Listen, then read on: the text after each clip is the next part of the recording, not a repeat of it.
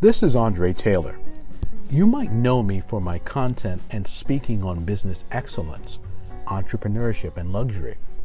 But another aspect of my identity is music lover, a musician for fun. I play the piano and I'm a big jazz fan. Here I am at Dizzy's Club Coca Cola, a jazz spot in New York City next to a drawing of the great Dizzy Gillespie. Here I snapped a photo of Herbie Hancock at a book signing. And here I am with author Jonathan Kane, son of photographer Art Kane, who famously captured the greatest jazz musicians in Harlem. But if you really know me, you know my favorite all around musician and entertainer is George Benson.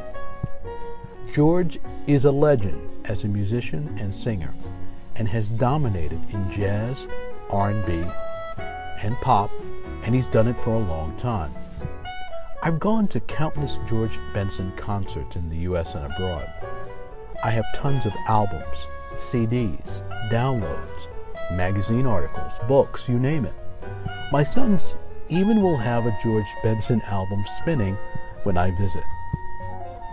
Now, the connection to George Benson began unknowingly as a kid in Brooklyn while at the Wynn School of Music. I had a piano teacher that opened me up to what being a musician was about. His name was and is Ronnie Foster. He was really an organ player, but in just a few sessions, he opened my mind.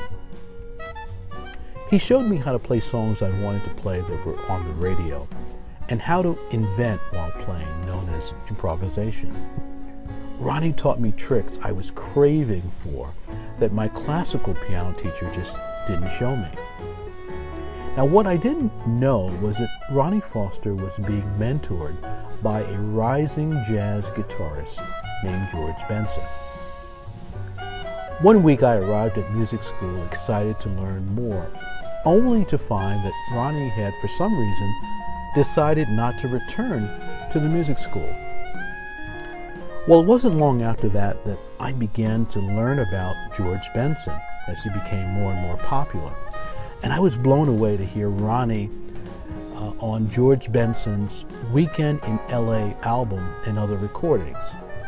Here's Ronnie in the early days, and here he is more recently with George. Well, decades later, as an entrepreneur, one morning I was working in my office and listening to morning jazz on my local jazz station, WBGO, when I heard a rundown of upcoming events. George Benson was going to be performing in New Jersey, a short drive away, on October 19th. This was in 2011. Now, that was about 20 days away, but I had to go out of town on business, and I knew I couldn't make that concert, and I was disappointed, but I thought to myself, I'll see him the next time he's in New York. This was happening just a few days before my birthday, which is October 4th, and I noticed online that George's new album, Guitar Man, was going to be released on my birthday. I instantly pre ordered the new release and thought, new George Benson for my birthday. Not bad. Well, my birthday came and went, and on Friday morning, October 21st, I was again listening to morning jazz when I heard, Tonight at Town Hall, George Benson. I said, What? Somehow I missed that George Benson had a couple of dates after that New Jersey performance and was going to be in New York that night. I immediately thought, well, I'm going.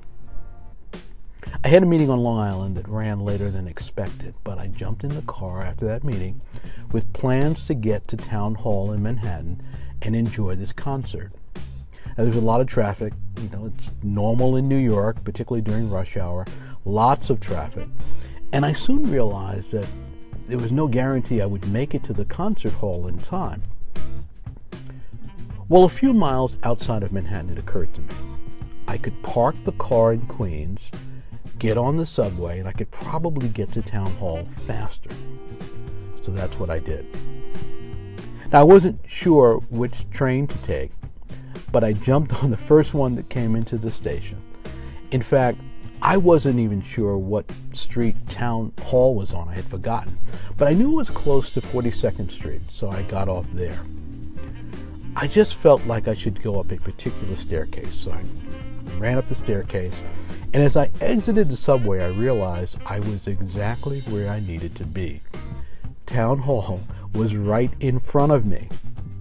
I glanced at my watch and I realized it was 30 minutes before the show. I had gotten there just in time. Well, I raced to the box office. I was excited. And uh, this is what I wanted to do for weeks, and it was about to happen. And I was going to see George Benson live again. This would, this would probably be my 50th time, but you know, who's counting? But as I approached the box office, my heart sank. The sign that was at the box office said, sold out and this was not what I was expecting. There were people milling around and quite a few who wanted tickets, but the woman at the box office confirmed that there were no more, and it seemed like no one had an extra ticket to sell who was outside.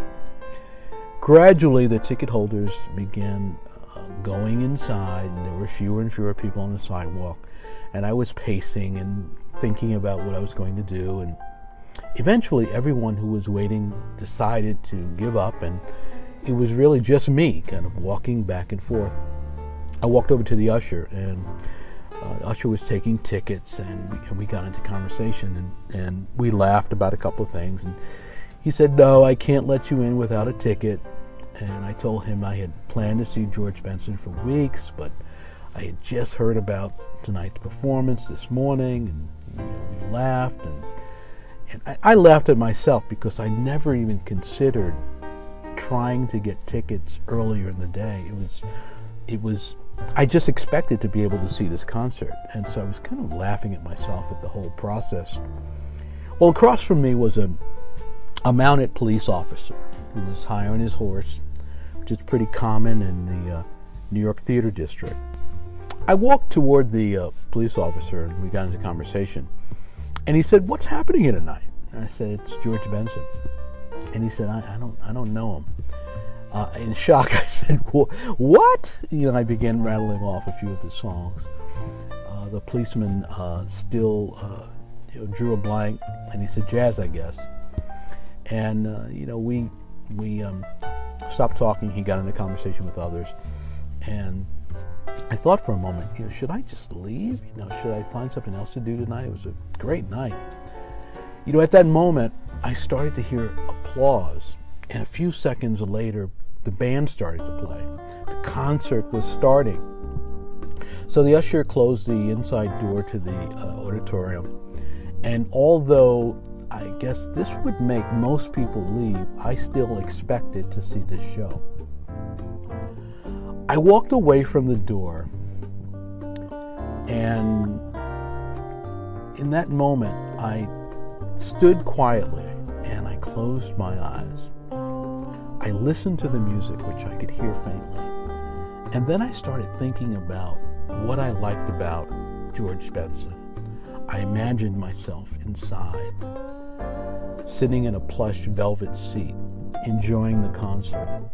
I imagined the stage lights and how much I love being in this environment, live music and this great musician, all the songs that I liked. I imagined the performance rising in excitement, people dancing in the aisles, standing and applauding. I was completely lost in this. I imagined myself leaving the concert elated, surrounded by crowds who were equally elated.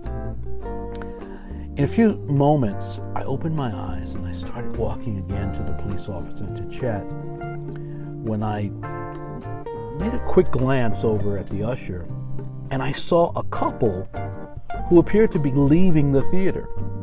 I dashed toward the usher and I joked, I should get their ticket. And he said, Get one and I, and I can let you in. Realizing what was happening, I ran toward the couple and I asked, Are you leaving? uh, Are you coming back? Uh, do you have an extra ticket? And the gentleman looked at me, um, reached into his suit jacket, started feeling around, searching, and he pulled out a printed online ticket and he handed it to me and he said, It's yours.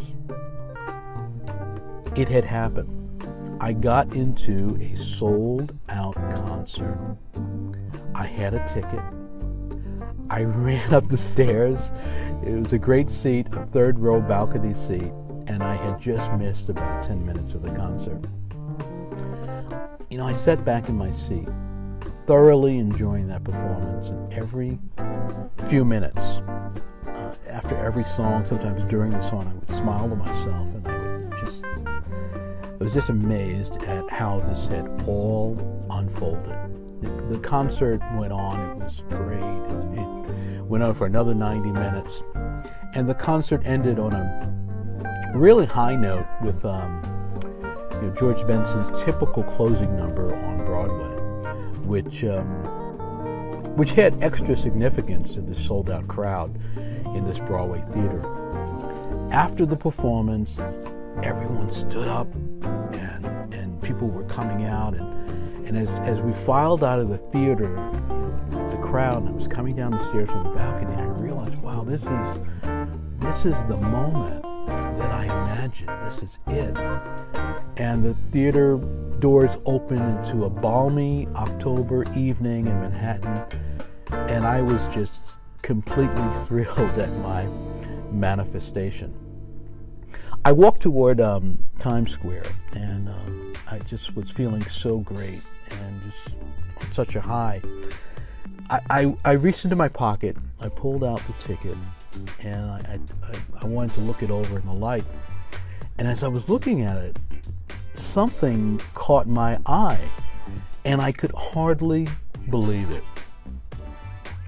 When I looked closer, I realized this ticket had been purchased online on my birthday, October 4th.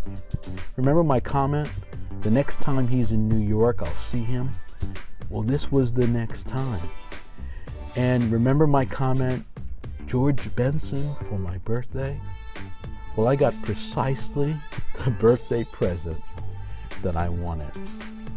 I think the couple who left the concert early actually bought the ticket for me. They even waited for the right moment to leave when there was no one else around so I could get it. Decide what you want. Make it your identity. Feel it present right now. Expect to see evidence that it's happening. And when the moment is right, accept it, claim it. Uh, you'll get sold out concert tickets and you'll get much more. Subscribe to my channel, share this with others, and I'll see you next time.